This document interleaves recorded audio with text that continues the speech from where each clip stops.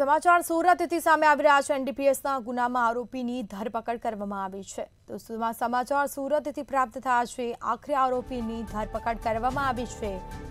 તો પોલીસે ઓરિસ્સા ખાતેથી આરોપીની ધરપકડ કરી છે. તેમાં ગાંજો સપ્લાય કરવાના કેસમાં પોલીસે આરોપીને ઝડપી પાડ્યો છે.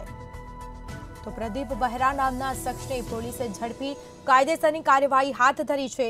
પોલીસે એનડીપીએસ એક્ટ મુજબનો ગુનો પણ દાખલ કર્યો છે, જેમાં આરોપીની ધરપકડ કરી વધુ તપાસ શરૂ કરવામાં આવી છે. આરોપીની પૂછપરછ પણ હાથ ધરાશે.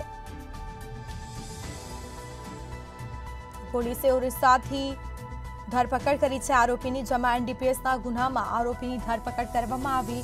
ગાંજો સપ્લાય કરવાના કેસમાં પોલીસે તેને ઝડપી પાડ્યો છે. આરોપી ગાંજાનો સપ્લાય કરતો હોવાનું પણ સામે આવ્યું છે, જેમાં પ્રદીપ બહેરા નામના શખ્સને પોલીસે ઝડપી, કાયદેસરની કાર્યવાહી હાથ ધરી છે અને તેના વિરુદ્ધ એનડીપીએસ એક્ટ મુજબ ગુનો પણ દાખલ કરવામાં આવ્યો હતો.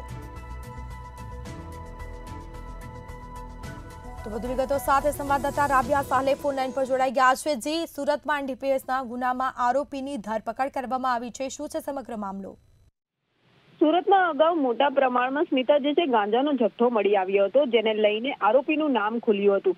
એનડીપીએસનો આખો મામલો હતો. એનડીપીએસના આરોપીની જે છે અત્યારે ધરપકડ કરવામાં આવી છે. ત્યારે સુરતની જે ભેસ્તાન પોલીસ છે, એમના દ્વારા ઓરિસ્સા ખાતેથી આ આરોપીની ધરપકડ કરવામાં આવી છે. આરોપીનું નામ પ્રદીપ ભગવાન બહેરા પોલીસ તપાસમાં ખુલ્યું છે. ત્યારે ભેસ્તાન પોલીસના ચોપડે જે છે એનડીપીએસ એક્ટ મુજબનો ગુનો નોંધાયો હતો.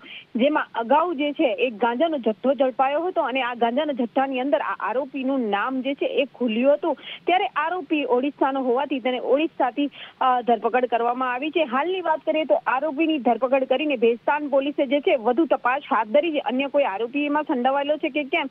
કે અગાઉ એવું કોઈ ગાંજાનું મોટું કામ કરેલું છે કે કેમ? એ સમગ્ર મામલાની તપાસ અત્યારે સુરતની ભેસ્તાન પોલીસ દ્વારા કરવામાં આવી રહી છે. જી, સ્મિતા. જી બિલકુલથી તમામ જાણકારી આપવા બદલ આપનો આભાર. તો અંદર કોની કોની સંડોવણી છે તેને લઈને પણ તપાસ હાથ ધરાશે ગાંજો સપ્લાય કરવાના કેસમાં પોલીસે આરોપીને ઝડપી પાડ્યો છે.